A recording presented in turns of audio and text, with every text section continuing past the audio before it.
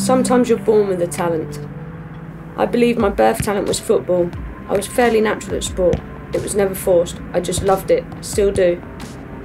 I remember on one occasion, I must have been four or five, I was kicking a ball in my nana's garden with my step granddad.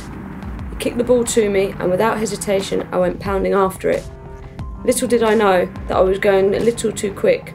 My determination took me straight into the stream following the ball's landing spot, straight to the bottom, completely subsided in the water.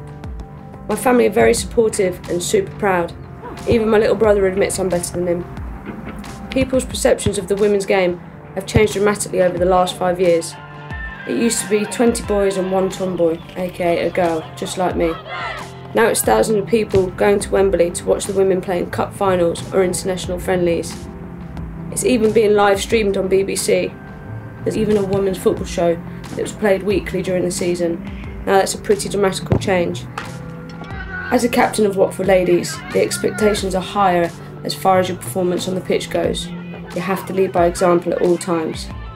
Training three times a week with the team, playing a match per week, a day of rest, as well as two days of training individually. Six of the seven days a week are football related, along with a full time job. After six or seven years, it's the way of life. That will never change.